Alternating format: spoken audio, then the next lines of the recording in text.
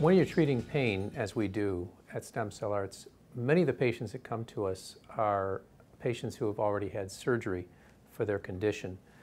And one of the most common people that, uh, a group of people that come to us is people who have had spinal surgery.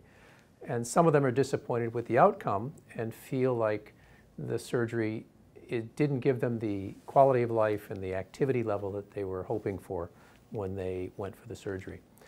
And often the case is simply that the surgeon fixed one problem, but they still have other problems.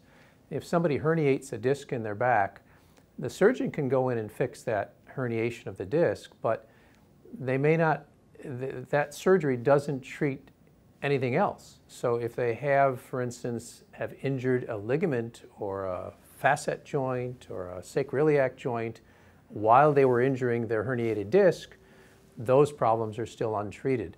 So the patient often mistakenly, mistakenly feels like the surgery didn't work, when in fact it simply didn't do everything. And many of the things that need to happen are not surgical at all.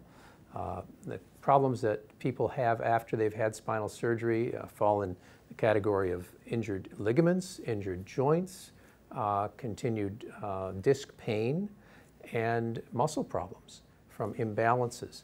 Once the surgery has happened, part of the spine actually will lose its motion because it's been fused. That forces motion above it and forces motion below that segment. And sometimes the areas where the motion is forced to happen aren't areas that are prepared to take that excess motion, or uh, it creates some pain and dysfunction because that area isn't strong enough. So we have some wonderful tools for A, figuring out why the person still has pain after the surgery. And as I say, many times it's not, it's simply that the surgery didn't fix everything that was wrong. And the second thing is we have some wonderful tools to actually treat. And some of the tools we use are platelet-rich plasma. Uh, in this treatment, we take blood platelets, uh, take them from the bloodstream, and we inject those, those platelets into weakened ligaments, injured joints, uh, poor muscle attachments, and that is able to uh, basically improve on those residuals that the patient had after surgery and improve their quality of life.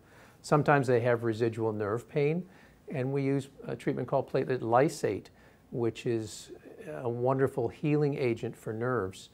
Uh, and we inject that like an epidural into the spinal canal, and that helps the nerves finally come to a position of healing after they may have been traumatized through their original injury.